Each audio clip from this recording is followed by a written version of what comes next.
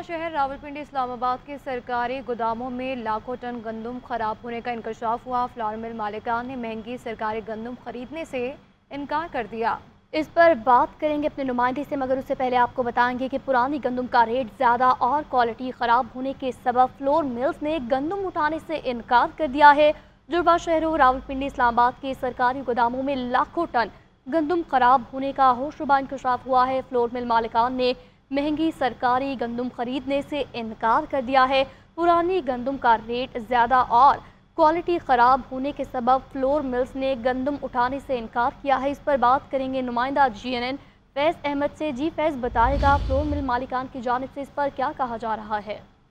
جی جربا شہر اور راول پنڈی اسلام آباد کے سرکاری گوداموں میں لاکھوں ٹن گندم خراب ہونے کا انکشاف فلور مل مالکان نے مہنگائی، مہنگی سرکاری گندم خریدنے سے انکار کر دیا ہے۔ سرکاری گوداموں میں گزشتہ سال کی ہزاروں ٹن گندم پڑی پڑی خراب ہونے لگی ہے۔ پرانی گندم کا ریٹ زیادہ اور کوالٹی خراب ہونے کے باعث ٹرول ملز نے گندم اٹھانے سے انکار کر دیا۔ پرانی گندم کا فی ٹن من سرکاری ریٹ سینتالیس سو روپے ہے۔ کوالٹی بھی ٹھیک نہیں ہے۔ پروڈ مل مالکان کا مزید یہ بھی کہنا ہے کہ نئی گندم کا فی من سرکاری ریٹ انتالیس سو روپے ہے۔ اوپن مارکیٹ میں گندم کی نئی بمپر کرائپ آئی ہے اوپن مارکیٹ میں فی من قیمت تین ہزار روپے ہے۔ کوالٹی بھی سرکاری گندم سے اچھی ہے۔ فلور مل مالکان کا مزید یہ بھی کہنا ہے کہ فلور مل مالکان مہنگی سرکاری گندم خرید کر اپنا نقصان نہیں کر سکتے۔ رمضان المبارک میں فلور مل مالکان نے اپنی گندم گرینڈ کر کے حکومت کو سستا آٹا فراہم کیا۔ رمضان المبارک میں سستے آٹے کے پچاسی کروڑ روپے حکومت کی طرف واجب الادا ہے فلور مل مالکان کا مزید یہ بھی کہنا ہے، حکومت اگر سوجی، میدا، فائن اور چوکر کی ایکسپورٹ کی اجازت دے تو سرکاری گندم خریدی جا سکتی ہے۔ حکومت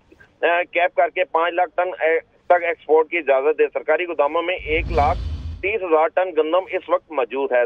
جی۔ ٹھیک ہے اپڈیٹ کرنے کے لیے آپ کا بہت شکریہ۔